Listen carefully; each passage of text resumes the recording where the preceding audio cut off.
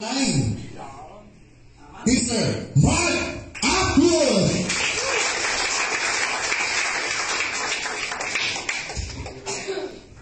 Good evening! Kumusta sa lahat? Bago ako magsimula, okay lang ba pwede malaman sino yung mga hindi pa member? O lahat member na? Lahat hindi pa member. Sige, taas ang. Huwag maiyak. Di ba? Kasi mamimigay ako ng libre sa mga hindi eh. Mamaya, ah, hindi pa member, hindi pa member. Lang.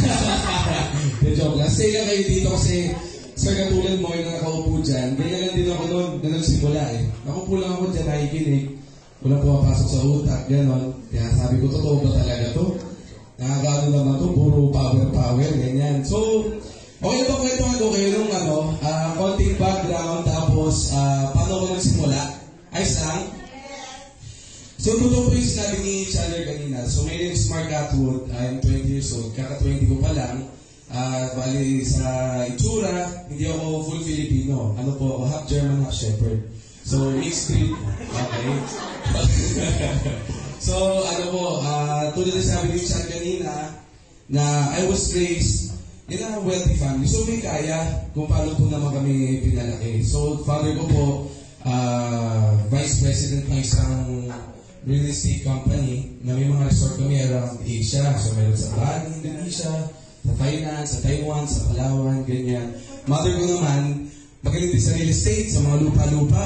Puro ano sila sa real estate talaga. So, growing up, ang turo nila sa akin is medyo different lang sa kung paano palaking ang normal na Filipino kid. Di ba? Kasi dito sa atin, laging sinasabi, anak, mag-aral ka na mabuti para pag nakatapos ka, meron ka magandang trabaho. Fortunate lang din siguro ako na pagpapalagi sa akin ng sabi na mag-aral ka mabuti, lahat ng pwede mong matutunan, ah, i-absorb mo na para pag nag-graduate ka, sumama ka sa amin sa pagnegosyo, ganyan. So, ako medyo abundant mindset kung pala, paglaki, hindi naman sa pagmamayabang ano.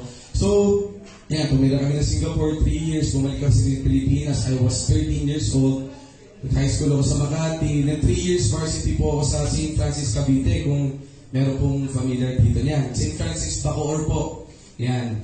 So, yun yung ano ko, doon ako nag-graduate ng high school, tapos dalawang taon din po naglaro para sa enter ng colleges sa may McKinley, BGC, kung may alam din noon. So, growing up then, I was very fond of basketball. Para sa mga channel, kaya kami nagkasundo.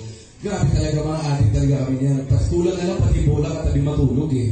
Ganun talaga kami kayo sa. Lahat, sino yung namaya pa recently? Kobe Bryant, di ba? Yung mga idol namin. Kobe, Dwayne Wade, yung mga hilig talaga namin growing up. So, uh, dream namin ni Channel, lalo na ako, sabi ko, Lord, kung hindi man ako mag-PBA, kahit MPBL na lang. Eh yung time na, ano pa, batak pa, ayun, ito na pinapalaki ko eh. Diyan na eh. Ever since na nagaling kami sa JT Cruz, hindi na kami pumayat. Kasi nga 6.56 times a day ang kain. Ang problema ko na lang, brad, eh, paano ba natin mapagkasya yung pagkain sa tiyan natin? May reserve ba yan? Kasi sobrang grabe talaga eh. So, continuing to the story, yan ang ano lang namin, yan ang alam talaga namin ni Chandler. Ah, puro paglalaro. Eh kaso, ang nangyari po kasi, uh, summer of 2018, na ano ko, na-injure ako eh, sa, na ankle sprain. Ang pangit lang doon, sa ankle sprain, sobrang taas ng baga. So, na-sideline ako ng ilang buwan. Ever since noon, yung laro, medyo nag-iba na. So, alam naman natin, pag yung katawan hindi kondisyon, no, pag magbabalik ka exercise, medyo mabilis kang mapagod, hingalin.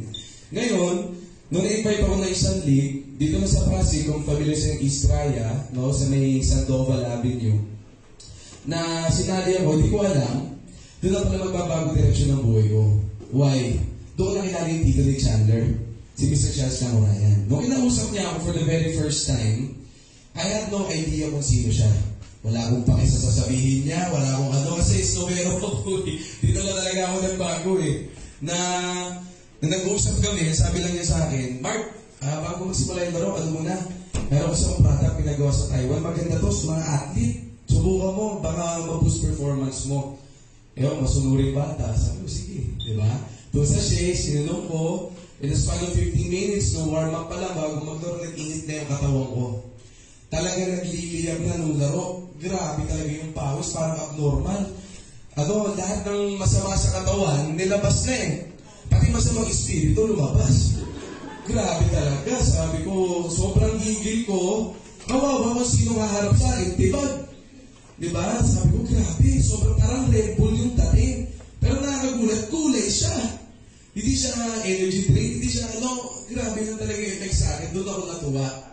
Doon ako natuwa talaga.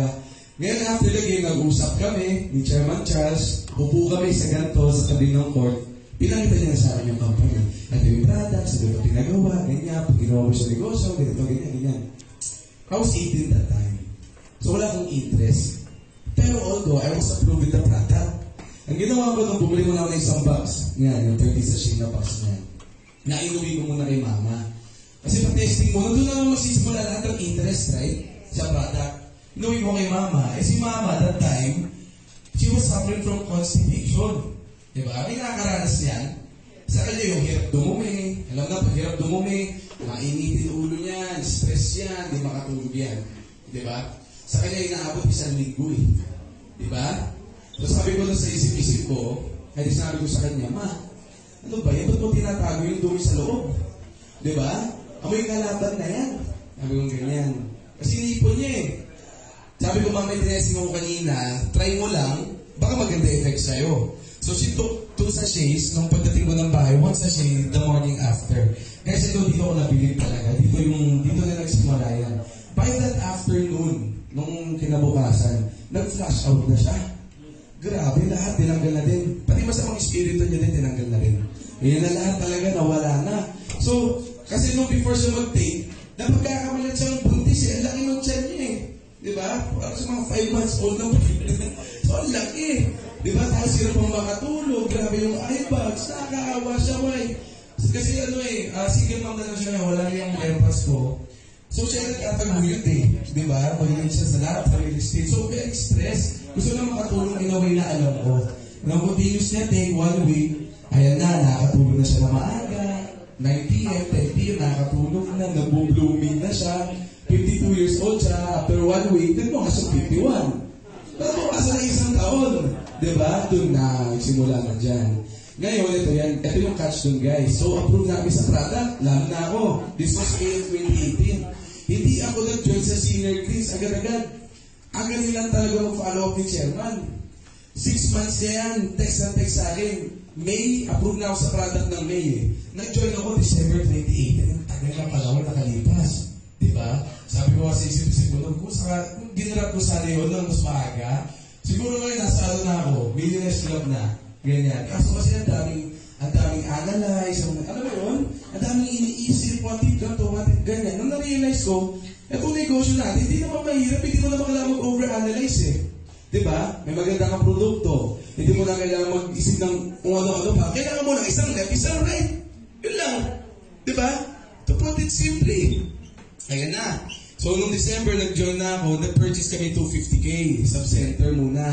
Dinala namin sa bataan. Sabi ko sa atin, ma, gumana sa atin. Patesting natin sa mga kamag-anak natin. Eh, mga kamag-anak ko, mga lasinggero. Best friend nila si Red Horse. Ay, gabi-gabi nila kasama yan. Di ba? Pinatry ko sa kanila. Yung mga diabetic mga kamag-anak, bumaba yung sugar, may stroke na ako na tito na hindi magalaw tong right, naangat ko na ulit. Ang dami, mula breast cancer, stroke, daughter arthritis, lahat. So sabi ko, pagdating pa tayo sa produkto, wala naman sa negosyo na to. Kasi wala ka na kailangan gawin eh. Yung iba nga, yung mga testimony, ito, may mapatesting ng isa, two sachets, pinararamdaman agad eh. Di ba? Tama, sino mga nakainom, nag-approve, di ba? Ganon. So ngayon, nung ginong sinul time ko na siya, nung sa Bataan, at by this time, December 2018, wala pa si Chandler nun. Ang network ko lang nun, Bataan lang. So lahat ng munisipyo, pinasok ko yan. Lahat ng opisina, ganyan, di ba? Sebo office, mga ganyan. Spreading the product, spreading the product. Nagsimula lang sa benta-benta lang. Kasi di ba, pag once na-approve na siya sa produkto, siya na mismo magtatanong eh. Tama? Di ba? So yan, nagbenta-benta ng products. Siguro na, nakaubos ako ng two Supreme worth of products in a day. Dahil lahat ng ano, pinagbebenta ko, hanggang sa yan na. Di after 3-4 days of ano, of activities, may mga nagte-text na, Sir, ang ganda na epekto sa akin, Sir, bakit ganito, ganyan, nakatulog ako. Paano maka-discount, paano maka-discount? Ayun na, package na. Di ba? Hanggang sa yan na, tuloy-tuloy na, dumami na yung user sa bataan. In the span of four months, guys, December, January, February, March, December, January, February, March, four months, na at, at 19 years old, at 19, I was 19 that time, nag-earn na po ako ng 200,000. So, pwede. Diba? Pwede eh. So sabi ko, wow. Ito pa matindi dyan, dapat magmamigrate kami to London. Wala talaga sa plano na full time ko to. Eh nakita na magulang ko kumikita. Sabi ko, ma, kumikita na ako eh. Ano mo gagawin ko doon? Mag-aaral ako, tatapusin yung halos ko, four years, saka magtatrabaho. Masyado lang matagal yung oras. Di ba? Five years ko, pagbalik ko dito, putok na senior grades, huli na ako. Di ba? So sabi ko, full time ko, tumapayagan mo na ako. Pinayagan ako. So yun na. Ito na po, continue lang, continue. Si Chandler nakapaglabas ng kotse. Ako, ano labas ko po kasi big bike. Ngayon kasi ako sa motor. Ganyan, so hindi nakalagay dyan, big bike eh. So, guys, ito lang. So, mga siguro mga hindi pa members, o sa mga members na baguhan lang, if I were to share, share a message with you, ito na lang yun. Ang ganda ng timing, first of all. Ah, madaming companies na nagtatayo ang binibenta marketing plan. May mga companies na walang product na fina-front, right? We are so blessed, no, na binigyan tayo nila ng magandang produkto. Eh. May mga members nga tayo, may mga users na pag nagsishare ng testimonies, nasabi na lang nila, this product is made by the hands of God. Ganyan. Although sabihin na natin, baka overclaim yun, pero guys, kung makita niyo yung testimonies talaga, mahirap paniwalaan, pero totoo eh. Di ba? Ngayon, with that product, kinumbay na ng isang magandang compensation plan para sa mga taong.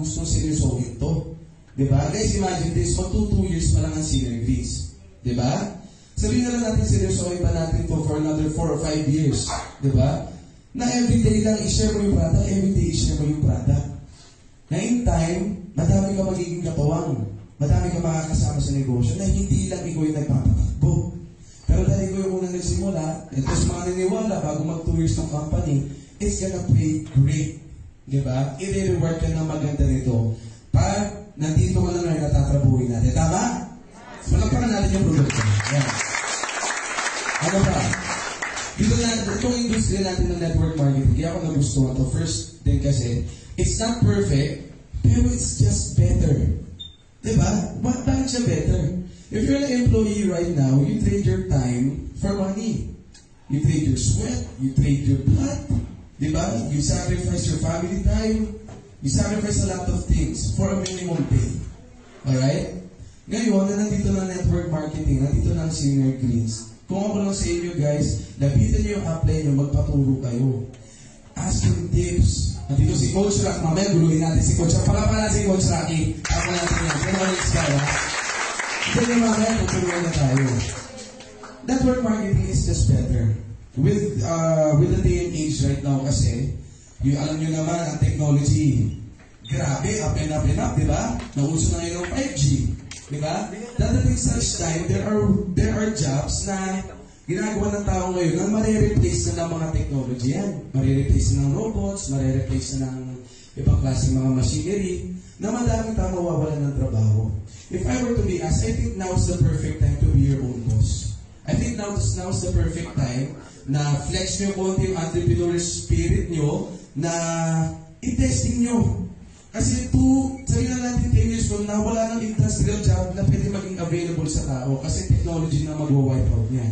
It's your turn right now na kailangan, di ba, try something new. Ito na lang kasabihan eh, kung hindi kayo mayaman sa profession mo, siguro mag-try ka na hindi mo profession. Tama? Tama? Kasi ang dami dito guys eh. Kung saan na-inspire kayo, mas na-inspire din ako dito sa iba kasi meron dito mga stock market analysis na alam mo yun, good pay dun sa kanila. Meron dito OFW na laki na kinikita pero iniiwan nila para dito eh. Ibig sabihin, hindi sila nalu- naluwagan ng tornilyo sa utak. May nakita sila dito. Tama? Ayan. So ngayon guys, kung sa akin, na-inspire kayo, maraming salamat. I hope to inspire you even more. Ngayon guys, nababalik ngayon, ah, kami ni Chandler, no? Magbe-base na kami ng Western Visayas. Kaya kayo, kung gusto nyo ng tulong doon, pwede kayong ano, pwede kayong mag-assist sa akin. Yun lamang guys, kung ako dito sa nakaupo kayo, kung kayo may nagdududa pa, tangin nyo na yung duda. Ako nga eh, na-rich kid ako eh, na pinalaki ako silver spoon, spoiled brat na bago dahil dito eh. Kayo pa kaya na wala na, naging inarte pa. Di ba? Ibig sabihin, may nakita ko dito na maganda. Kaya gagawin nyo na lang, pupusin nyo na lang mata nyo kasi alam nyo kung ano mas worse lang sa taong blind ay yung taong may, may vision, pero eh, ang taong may eyesight, pero walang vision. Tama? Mas malala pa yan sa bulag. Na nandyan na sa harap mo eh. Igagrab mo na lang yung opportunity, pero pinakawalan mo pa. Tama? So kami namang nag-grab nito, sabihin nyo lang kami. Ang senior grace hindi paputok, papaputokin pa lang. Kaya sino sasabay, hindi kayo magsisisi! Okay? Salamat guys. Maraming salamat. Thank you. Thank you